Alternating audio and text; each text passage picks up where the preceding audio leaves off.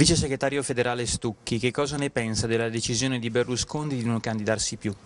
Non è una sorpresa, nel senso che con questo gesto Berlusconi vuole fare un altro colpo di teatro per eh, favorire un rinnovamento della classe politica e soprattutto per vedere, andando a sparigliare, quali saranno le reazioni degli altri partiti. Sicuramente è un passo importante perché segna la fine di un'epoca, definiamola così, all'interno del panorama politico del nostro Paese. Un passo indietro, ha detto, per riunire tutti i moderati un passo di lato più che un passo indietro, un passo per vedere, come dicevo prima, come reagiscono eh, tutti gli altri partiti, soprattutto quelli più vicini al PDL o a quello che resta del PDL.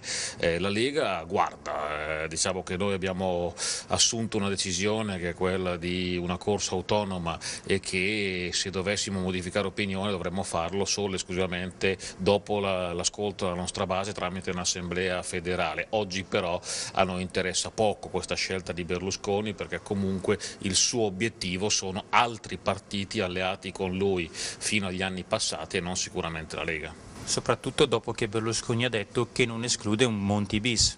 Ma a maggior ragione io direi, visto che se il candidato di questa nuova coalizione con Berlusconi che fa un passo di lato dovesse essere Mario Monti, noi assolutamente faremmo la nostra bella corsa solitaria orgogliosi di quello che siamo.